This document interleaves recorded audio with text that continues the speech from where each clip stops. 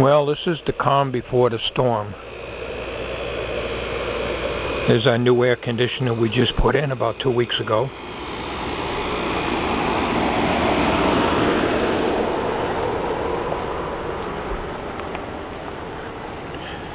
Now, because we live in a mobile home park, uh, power goes out, the pump, we have, the two artesian wells, and uh, of course those pumps will be going down. So I got this filled with water to flush the toilets. This is all water here. Three trash cans full of water, all for flushing the toilets, and I've got eight gallons of water for drinking and as well as bottled water, so we're set there. This greenhouse is used for storage, and I got everything tied down as much as I could. I even added a, another rope here just to keep things from blowing all over the yard. There's our old air conditioner down there. This is the base plate for the generator cover which is temporarily setting over here that I made. I have an earlier video on that. I don't know if I put that up there yet or not. I'm not sure what order I'm going to be doing these in. This will probably go up first and then that construction of that will uh, be next. So we got everything tied down here. And we got a lot of trees. This is what worries me. A lot of trees. Any one of them, all it takes is one to come down and crash through the roof and that's the end of it.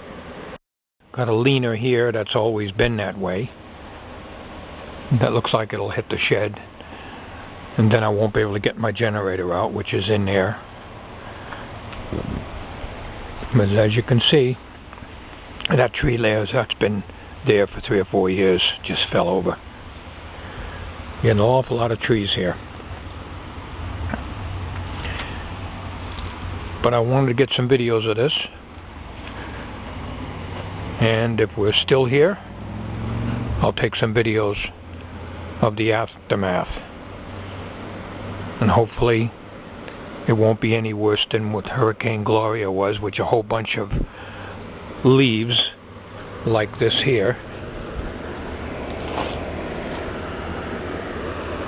And small branches but nothing major. Hopefully that was in 1985. We didn't have this mobile home. We had a smaller one at that time. So this is Friday at which I'm doing this, Friday evening at which I'm doing this video right now. It's probably about 6.30 in the evening. And uh, what we can hope for is the best. So until then, let's hope everything will be okay. Now as I said I have a video of the construction of this project here. You're probably kind of wondering what it is. It's a generator cover for my little Coleman Powermate 1850 surge generator which will be enough to run the refrigerator.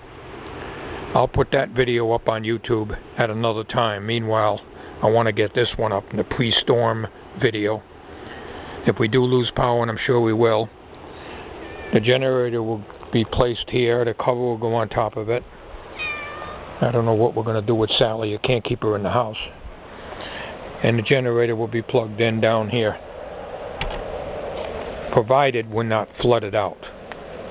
And provided we still have a house to come home to. Thank you for watching.